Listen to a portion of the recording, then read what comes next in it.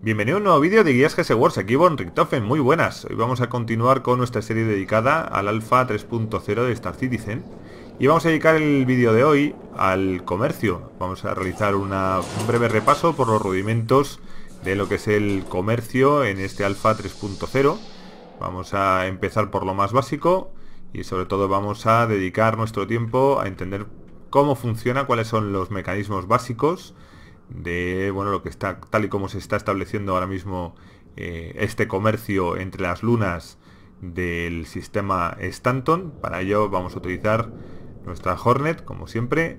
Vamos a intentar establecer o fijar algún run, alguna, mm, bueno, alguna ruta de comercio que creamos que pueda ser rentable y aprovechando ese primer run os voy a ir dando una serie de consejos que queremos que os sean útiles para empezar a ganar vuestros primeros créditos. Evidentemente, lo más recomendable sería tener alguna nave que estuviera más específicamente orientada al comercio de lo que puede ser un, caza como este, evidentemente. Pero bueno, vamos a hacer lo que podamos y lo más importante, vamos a demostrar que se puede hacer dinero con el comercio con independencia del tipo de nave que vayas a usar. Eso sí, siempre que tenga una, una mínima capacidad de carga para poder llevar mercancías de un sitio a otro. Vamos a ir dando también consejos específicos sobre qué cosas, eh, cuáles son los materiales de comercio que pueden ser más rentables y en principio vamos a ir analizando también alguna serie de cuestiones más técnicas como el funcionamiento de los terminales de comercio que ahora veremos cuando lleguemos a nuestro primer punto de destino. En primer lugar vamos a abrir el mapa con F2 como siempre, aquí está el planeta joviano, Crusader, Vamos a seleccionar Yela como destino de nuestro primer viaje. Tengo identificada una ruta de comercio que creo que os puede interesar, sobre todo para los que vais a empezar con vuestras primeras, vuestras primeras rutas de comercio. Y lo que vamos a hacer, como siempre, es utilizar nuestro motor de salto para poder llegar rápidamente a esa luna que tenemos ahí enfrente con la letra B. Lo primero que tenéis que tener en cuenta es que Portolizar es una estación que no produce nada. ¿Y eso qué significa? Que no compensa comprar mercancías en Portolizar para llevarlas a otro lugar. Todo lo contrario. Lo interesante es comprar materiales, mercancías en cualquiera de las lunas y venderlas en otros puntos. Puede ser eh, puntos sobre la superficie de otras lunas, em, como Levski, por ponerte un ejemplo, como Grim Hex pero eh, vamos a empezar por rutas básicas como comprar eh, material, mercancías en las lunas, como Yela en este caso, y venderlas precisamente en Portolizar. Hay una recomendación que os puedo dar para empezar, que es eh, dirigiros a este Dickens Research Outpost que estáis viendo aquí en el, en el mapa sobre la superficie de Yela. Así que vamos a utilizar nuestro afterburner para dirigirnos rápidamente a ese punto de la superficie. Y una vez allí aprovecharemos esta, esta primera ruta de comercio, este primer viaje, para explicaros el funcionamiento de esos terminales de compra y venta.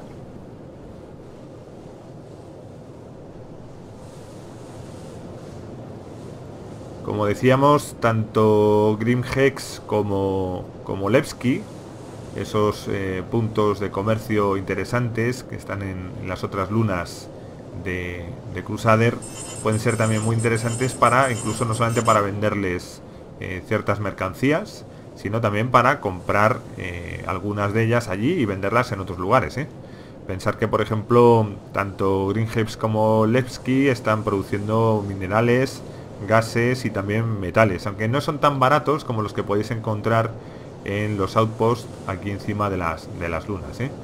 Fijaos, por ejemplo, aquí mismo en Yela tenéis algún, algún par de, lugares interesantes como el Arcorp Mining Area que veis ahí que está a 760 kilómetros y algún outpost más pequeñito, algún, alguna especie de, de, refugio, alguna base minera que puede ser también bastante interesante para comprar ciertos, ciertos minerales. No obstante, Vamos a empezar, como os decía, por eh, dirigirnos a las granjas.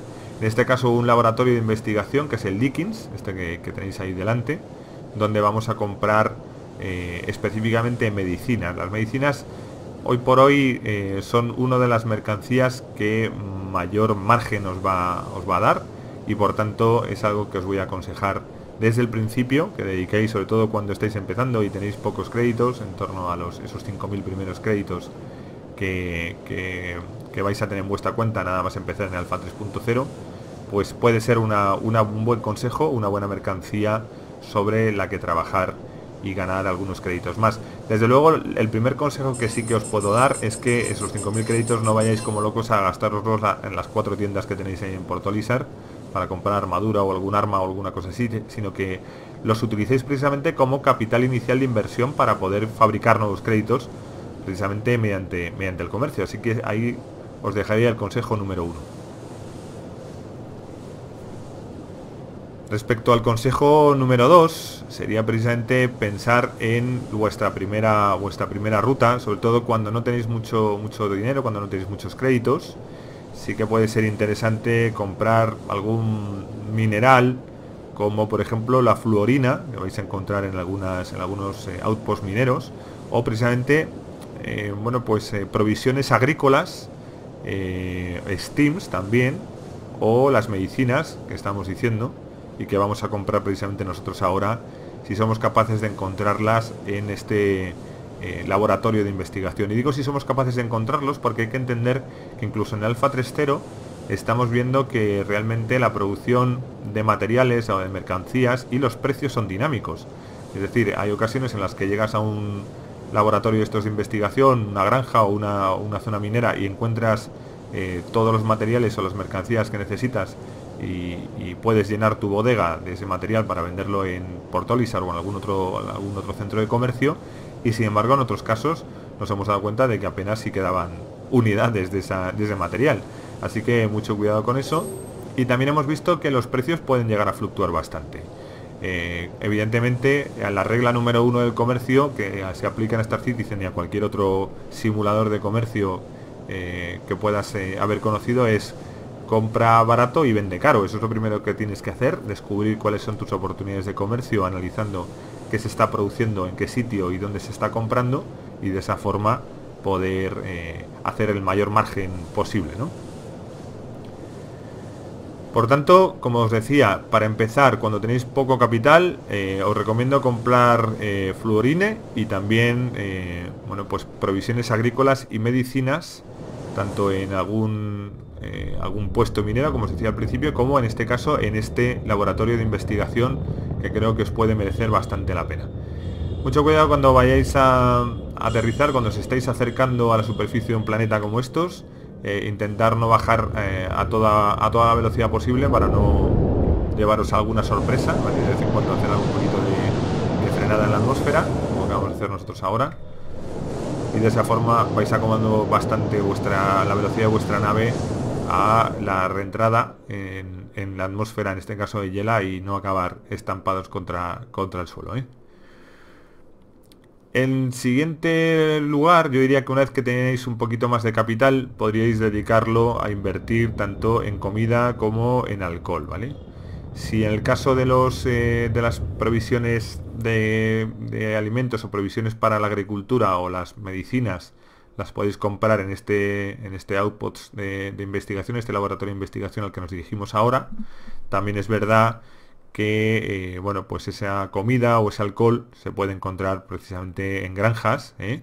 o incluso en eh, laboratorios químicos en algún vídeo futuro probablemente desvelemos algún secreto que probablemente alguno ya conozcáis como es un laboratorio secreto químico o, de, elaboración de, materiales no permitidos, no legales dentro de la UE, donde podréis hacer también algunas compras y venderlo a buen, a buen precio en alguno de los puestos de, comercio del sistema Stanton.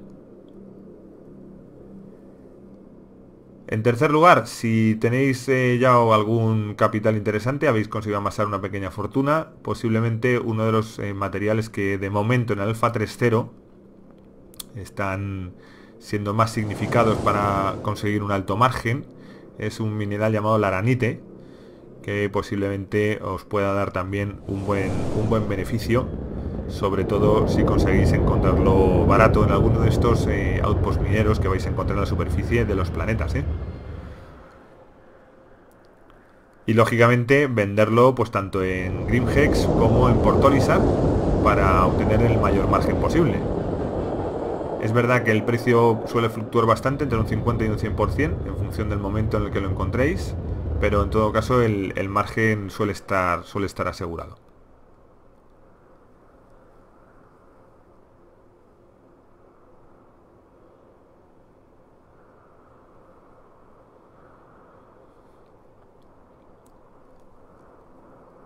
Nos estamos acercando ya al laboratorio de investigación. Vamos a intentar encontrar un hueco en uno de estos de estas plataformas de aterrizaje. Fijaos, en este laboratorio en concreto hay tres pistas. Si os fijáis aquí hay un pequeño edificio azul justo justo pegado a la pista. Os aconsejo que aterricéis justo en ella porque va a estar mucho más cerca el edificio que nos interesa porque en todos estos eh, outposts todas estas bases eh, lunares que estáis encontrando aquí. Como veis hay varios edificios. En este caso tenemos uno a la derecha que es de color azul sería como el edificio de visitantes. Y luego tenemos una serie de edificios de color rojo pero no en todos ellos vais a encontrar precisamente las terminales de comercio. Así que os voy a indicar en, este, en esta base lunar concreta cuál es el edificio en el que vais a encontrar la terminal y por tanto cuál os va a servir de referencia, ¿vale? Fijaos, hemos eh, aterrizado en esta plataforma justo al lado del edificio azul, que es el centro de visitantes, pues el primer edificio que estoy señalando ahora mismo justo enfrente de mí, este es el edificio que tiene precisamente las terminales de comercio.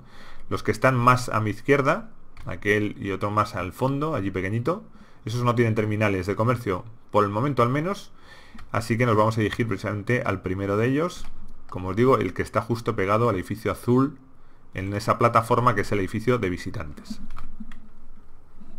Vamos a subir por la escalera.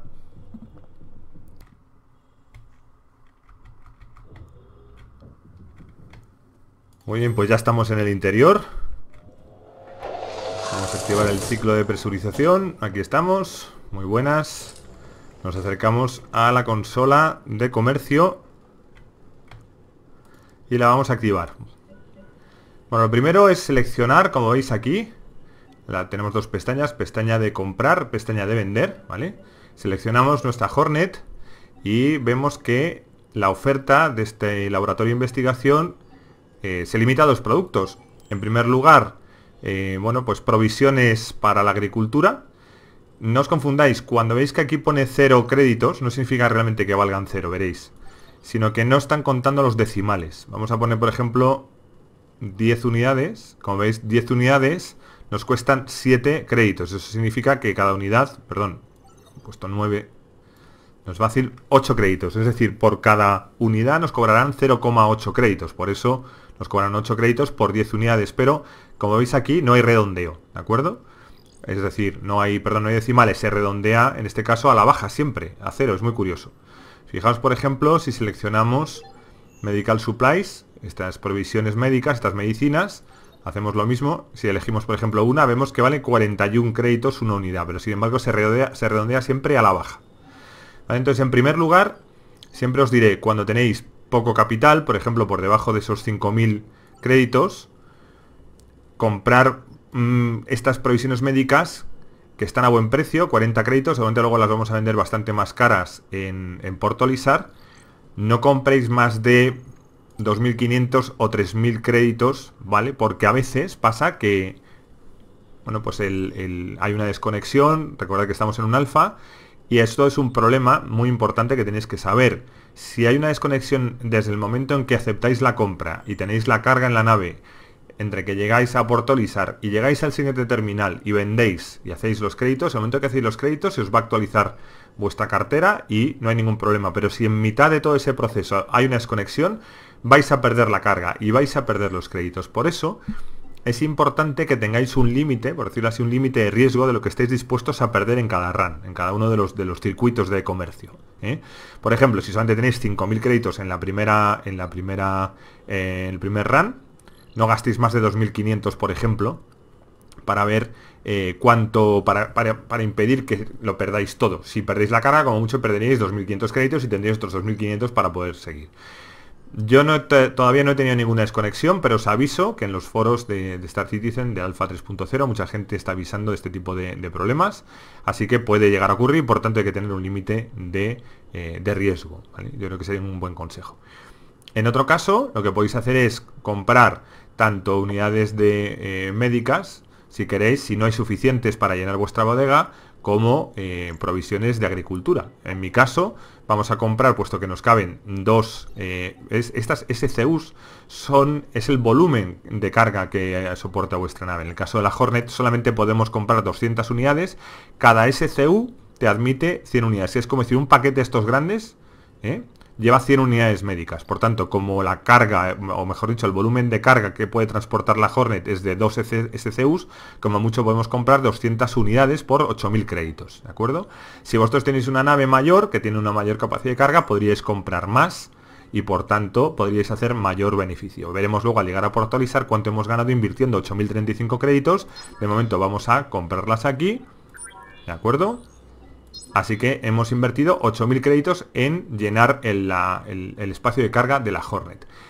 Ahora ya, si seleccionamos la pestaña Sell y seleccionamos el Anvil Hornet, podríamos también vender, evidentemente, nuestro, eh, nuestras, medicinas, pero no en este terminal, no nos van a comprar a su vez las medicinas que acabamos de, comprar nosotros, así que no, puede, no podemos hacer ese ejercicio. Lo vamos a hacer ahora al llegar a Portolizar. Ahora que tenemos la carga trasladada o hemos ordenado la compra de, esas unidades médicas, volvemos a nuestra Hornet y de ahí hacemos el camino de vuelta hacia Portolizar. Eso es todo.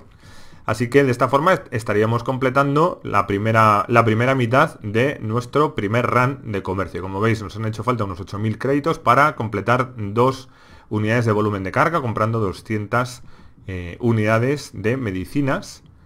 Y ahora veremos lo que hemos ganado con esta transacción. De momento vamos a intentar poner rumbo a Portolizar a través del eh, gigante Crusader lo más rápido posible. Vamos a encender aquí nuestro motor y la aviónica de nuestra nave. Vamos a despegar. Vamos a subir el tren de aterrizaje y vamos a ir tomando altura lo más rápidamente posible para despegarnos del planeta de tal forma que nuestro motor de Quantum pueda funcionar. Recordad que no vais a poder activar el motor de Quantum hasta que no hayáis tomado una determinada altitud, una determinada distancia respecto a la luna en la que hemos aterrizado. Ahora que tenemos la velocidad máxima, voy a habilitar de nuevo el mapa. Veis que la línea está en roja, pero está en roja no porque no haya una, una línea directa, ¿vale? Una vista directa del, planeta cruzar, ahora lo vamos a ver, sino simplemente porque estamos demasiado cerca. En todo caso, lo hemos, hemos activado el destino. Vamos a apuntar hacia Crusader y como veis dice que está obstruido pero no, es real, simplemente estábamos demasiado cerca. Ahora sí, nos hemos alejado lo suficiente, activamos el motor de Quantum y como veréis ahora el camino de vuelta se os va a hacer muchísimo más corto, es decir, hemos tardado mucho más en llegar hasta aquí porque como veis el punto de salto entre Porto Lizar y la, y la luna Yela nos deja en un punto a tal distancia de la superficie que luego empleamos bastante tiempo precisamente en llegar a la superficie. Sin embargo, a la vuelta no es así. A la vuelta, ¿veis? Acabamos de quedarnos en un punto concreto, muy muy alejados del planeta gigante. Vamos a activar otra vez el mapa. Vamos a buscar Portolizar, aquí lo tenemos. Veis que la línea está en verde. Lo fijamos como destino. Buscamos la orientación a Portolizar, orbitando el planeta, y enseguida Puesto que no estamos cerca de ninguna gran masa gravitatoria, vamos a poder activar enseguida el motor de Quantum y por tanto vamos a poder acceder muy rápido. Bueno, como veis, para estos primeros runs, desde luego, os, yo os voy a aconsejar que con ese, con ese límite de riesgo que os hablaba hace unos minutos, que siempre vais a tener que controlar, sobre todo mientras tengáis muy pocos créditos y estéis en los primeros runs, intentar siempre respetar esos límites, pero en todo caso yo creo que esta, esta ruta a la luna hiela, a ese puesto de investigación, creo que es bastante productivo como para eh, realizarlo durante unas cuantas veces al menos. Vamos a solicitar aquí el aterrizaje. A ver cuál es el pad que nos asignan. como os decía, es una ruta muy muy recomendable, sobre todo al principio, mientras hacéis eh, una o amasáis una primera, una primera eh, mini fortuna, ¿no? O fondos suficientes para luego dedicaros, si tenéis también, evidentemente, una nave con mayor eh, espacio de carga para poder luego realizar otros runs más lucrativos con otro tipo de, de, materiales. Uno que está bastante que está siendo bastante usado es el laranite, os lo digo ya. Lo podéis obtener de los outposts mineros encima de las superficies de las de las lunas y por tanto ahí también vais a poder hacer bastante bastante beneficio, bastante margen, así como los diamantes, el oro, eh, el gas fluorite. Bueno, con todo eso vais a poder hacer bastante bastante dinero, bastantes créditos. Muy bien, pues ya nos estamos aproximando al, al pad de aterrizaje, a la plataforma de aterrizaje que nos han asignado. Vamos a tratar no chocar con esa Cutlass, esa Drake Cutlass que tenemos justo, justo, justo delante. Vamos a iniciar la maniobra de aterrizaje. Espero no tener problema con esta, con esta nave aquí.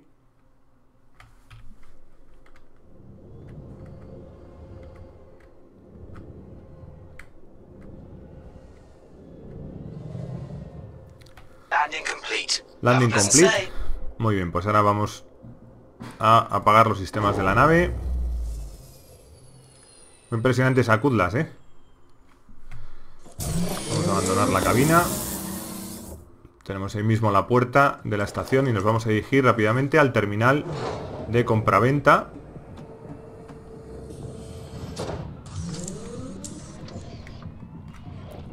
Les ha quedado, la Drake Cutlass les ha quedado de maravilla. Realmente ha quedado una nave estupendísima, muy atractiva y seguro que con un compartimiento de carga mucho mayor que el de la Hornet. Vamos para allá.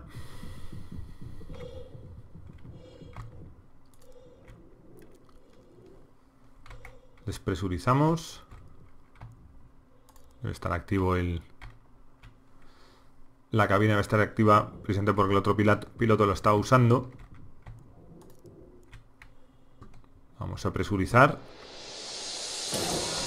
Y aquí estamos. Nos dirigimos, como decíamos, al mostrador principal de la cubierta. Aquí estamos. Este probablemente sea el piloto de la Cutlass. Vamos a utilizar el otro terminal. Y activamos la consola. Muy bien, aquí estamos. Vamos a seleccionar de nuevo a nuestra Hornet. Como veis, tiene dos unidades completas. En vez de comprar, vamos a utilizar lógicamente la pestaña de vender. Aquí lo tenemos. Y tenemos para vender, como decíamos, 200 unidades de medicinas. Vamos a vender lo máximo posible. Fijaos el rendimiento. 15.352 créditos por los 8.000 que habíamos invertido. Prácticamente hemos duplicado el valor de nuestra inversión. Lo tenemos y como veis nos acaba de actualizar la cartera con el incremento de esos 15.000 créditos. Habíamos invertido apenas 8.000, hemos conseguido en retorno por lo menos 7.000 más. Como veis, muy productivo este, este primer run. Eh, si queréis, eh, de alguna forma podemos hacer un resumen de lo que hemos de lo que hemos realizado. Lo más importante, como os decía antes, es recordar el viejo principio de compra barato, vende caro. Tú mismo puedes intentar descubrir algunas otras rutas que te parezcan atractivas desde un punto de vista de margen comercial. Estas primeras a ese laboratorio de investigación eh, sobre el planeta Yela creo que son suficientes, eh, suficientemente productivas, como veis, con un margen cercano al 100% de lo invertido, como para que os merezca la pena hacer unos cuantos runs. Es más, lo que sí tenéis que tener en cuenta es que eh, sí que estoy advirtiendo que este mercado de, materias primas entre las lunas del planeta Crusader y Portolisar, Grimhex, eh, Levski, etcétera, es un realmente no sé qué reglas hay detrás, pero sí que es dinámico. Si compras muchas medicinas, al cabo de dos tres runs es posible que se agoten las medicinas en ese laboratorio y además su precio se incrementa tanto que al volver aquí es posible que eh, no obtengas ningún beneficio, todo lo contrario, que tengas una pérdida. Así que tienes que estar siempre eh, muy atento a las fluctuaciones de precios y a las unidades que se venden. Así que no te centres solamente en una ruta, intenta descubrir varias, como te decía antes, intenta descubrir también rutas desde Grimhex, por ejemplo, o algunos autos mineros para encontrar la aranite, para encontrar el gas fluorita, eh, también diamantes, como decíamos antes, y eh, recordar siempre que no compensa comprar nada aquí en Porto Lizar, puesto que esto es una estación que no produce nada, solamente compra. Por tanto, aquí los, los precios que vais a obtener por la venta de vuestras mercancías son altos, está muy bien vender aquí, por ejemplo. Aquí no compréis nada para venderlo en otra parte porque lo que vais a encontrar al final es siempre una pérdida.